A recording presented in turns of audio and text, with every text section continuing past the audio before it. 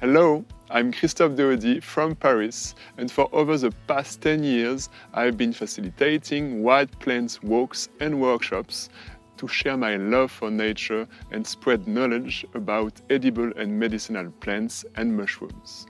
I founded Le Chemin de la Nature, or in English, The Path of Nature, in order to provide online training in botany, foraging, wild plant cooking, and herbalism. Even the most common plants around us are no longer familiar to us. Many of the plants that people call weeds and are desperately trying to get rid of actually are very useful. Our environment has a lot to offer and I would love to share a little glimpse of it with you in this video.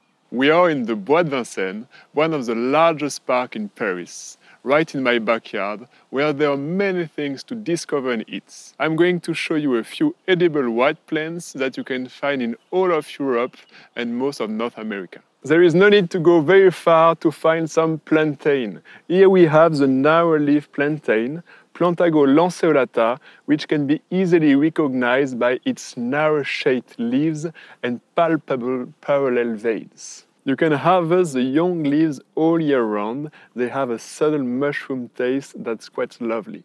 When the flower stalk appears, don't miss the flower buds, they are delicious.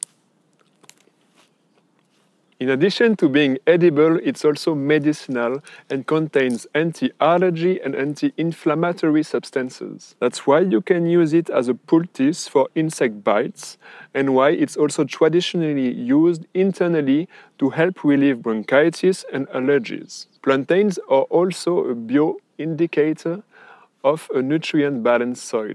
Where there are many of them, it might give you a hint about where best to start a vegetable garden. Do you recognize this one? It's dandelion, perhaps the most iconic weed even though it's completely edible from its roots to its flowers. The name dandelion is an adaptation of dent de lion in French, which literally means lion tooth, because of the shape of the edge of the leaves. Its leaves can be eaten raw in salad or cooked, and so can its stem and flowers. When the flowers are still flower buds, we can make them into capers in vinegar or fry them. The flowers can be used as an ingredient for the very famous jam from the Franche-Comté area of France, called la cramaillotte. If you want to try it, here's the recipe. You can pause the video when you want to make it.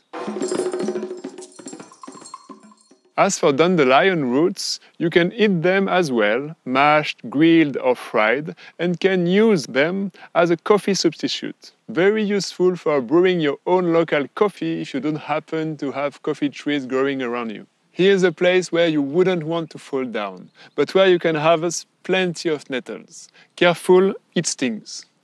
If you have never tasted it before, I strongly encourage you to overcome your fear of the nettle sting.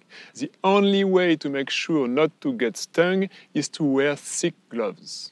Alternatively, you can try picking the leaf from below, then roll it like this, and then you can eat it raw. Otherwise, nettle leaves are delicious in soup, in salad. If you chop them finely in pestos, you can even prepare nettle bread using dry nettle leaf powder. Nettle is very nutritious and contains most of the nutrients we need in our nutrition minerals, vitamins, etc. In spring, its leaves can even contain up to 40% of its dry weight in protein. That's why nettle is traditionally used for its remineralizing properties and for the prevention of musculoskeletal pain, inflammation, such as rheumatism. The nettle root is also quite interesting as a traditional remedy for prostate disorders for men. And if we zoom out to look at the bigger picture, nettles are crucial for biodiversity. They host numerous insect and small animals which seek shelter among their stinging leaves. By doing so, they avoid being bothered by small mammals and also big ones like me.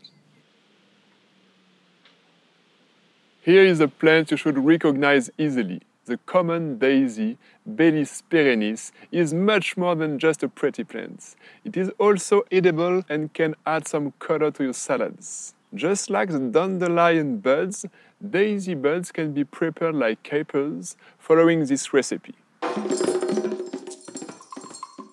In a macerated oil, common daisies also make a wonderful skin firming remedy. It was traditionally applied to aging skin to help it strengthen. You could potentially confuse the common daisy with the ox eye daisy, Leucanthemum vulgare, which is much bigger, also edible, and even more delicious.